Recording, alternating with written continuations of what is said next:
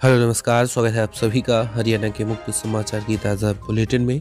इस वीडियो में जानेंगे हरियाणा की टॉप पच्चीस फटाफट ताज़ा खबरें।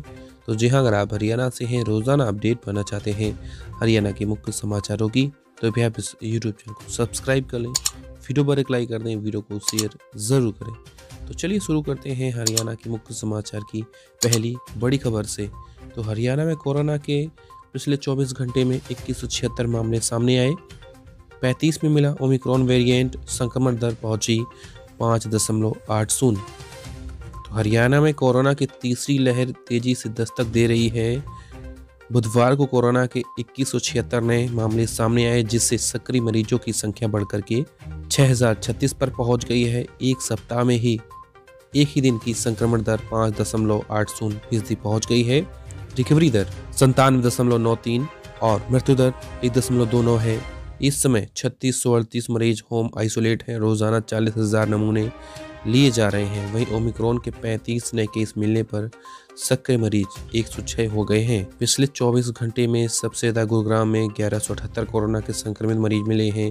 फरीदाबाद में दो पंचकुला में एक सौ इकहत्तर, सोनीपत में एक सौ अम्बाला में 124 करनाल में पचहत्तर, हिसार में 36 झज्जर में बत्तीस, कुरुक्षेत्र उनतीस, पानीपत में बीस, रोहतक और यमुनानगर में 24 24 रेवाड़ी में 15 जींद कैथल में 10 10 फतेहाबाद में आठ, नूह में सात, सिरसा भिवानी में पाँच पाँच महेंद्रगढ़ चार और चरखी दादरी में दो केस नए मिले हैं।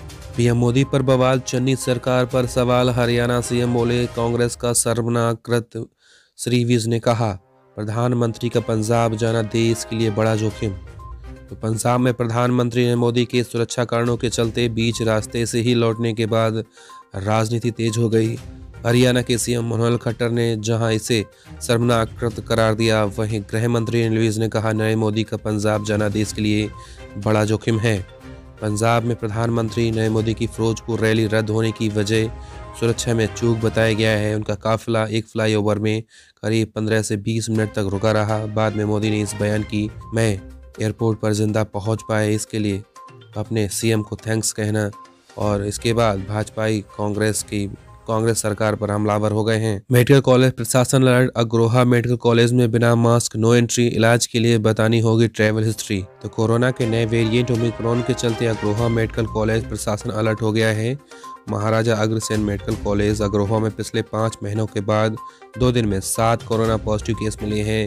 तेरह अगस्त 2021 के बाद मेडिकल कॉलेज अग्रोहा में कोरोना का कोई मरीज़ नहीं था। अब चार जनवरी से अब तक मेडिकल कॉलेज में सात कोरोना पॉजिटिव केस मिल चुके हैं, जिससे मेडिकल के चिकित्सकों स्टाफ की चिंता बढ़ गई है। पश्चिम विक्षोभ का असर ज़िले में कलनौर में सबसे ज़्यादा पानी बरसा भद्रा शहर में भी सात एम एम तक बरसे रोहतक में पश्चिम विक्षोभ का असर देर रात से ही शुरू हो गया है। दिन भर में सात एम एम बरसात दर्ज हुई। सबसे ज़्यादा तेरह एम एम बरसात कलनौर ब्लॉक में हुई। बरसात का दौर लगातार जारी रहेगा। तीन दिन हल्की और तेज बरसात के आसार बने हुए हैं। इसके चलते तापमान में चार डिग्री की गिरावट आई है। अधिकतम तापमान पंद्रह दशमलव एक डिग्री रहा है। हरियाणा के बहादुरगढ़ में गैस गीजर से हादसा। माओ बेटा झुलसे घर के मंदिर में जो जलाते हुए हुआ बड़ा धमाका, सहम उठे पड़ोसी। तो हरियाणा के बहादुरगढ़ के मेन बाज़ार में स्थित एक घर में बुधवार को गैस गीजर लीकेज होने से बड़ा हादसा हो गया।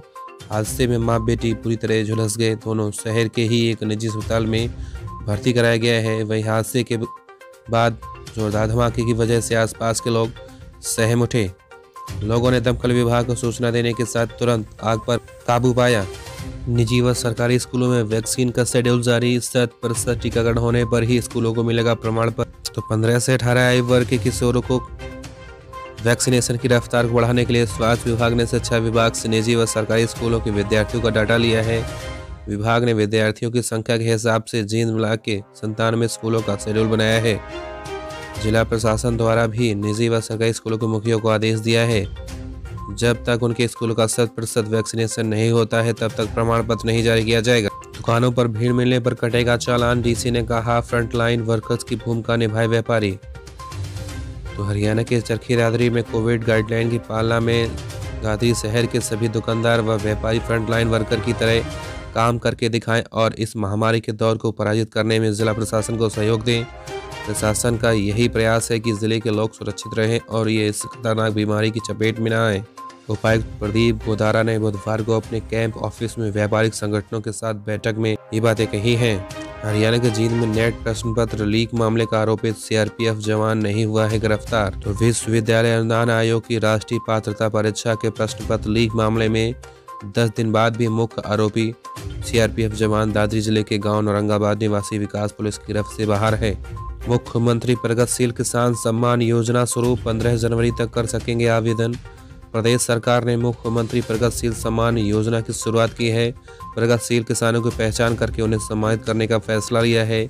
मकसद किसानों को सर्वोत्तम कृषि प्रणालियों को अपनाने के लिए प्रेरित करना है। योजना में भाग लेने के लिए किसान आगामी 15 जनवरी तक कृषि विभाग की वेबसाइट पर ऑनलाइन आवेदन कर सकते हैं। हरियाणा के छह ज़िले रेड जोन में शामिल। अब 11 जिलों में शाम 6 बजे के बाद बाज़ार होंगे बंद।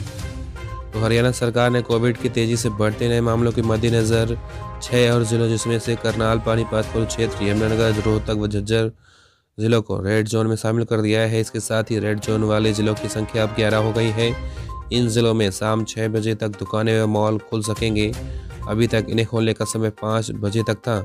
जान लेते हैं मौसम अपडेट सिरसा में अठारह एम एम बारिश प्रदेश में नौ तक बारिश की संभावना। तो पश्चिमी विक्षोभ, अरब सागर से आने वाली नमी वाली हवाओं राजस्थान के ऊपर बने साइक्लोनिक सर्कुलेशन के असर से हरियाणा के ज़्यादातर जिलों में हल्की से मध्यम बारिश हुई है।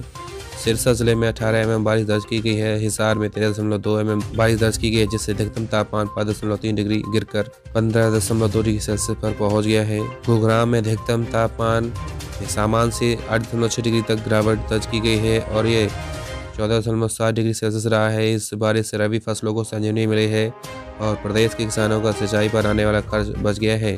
कुरुक्षेत्र के शाहबाद में गृह मंत्री विज पहुँचे थाना।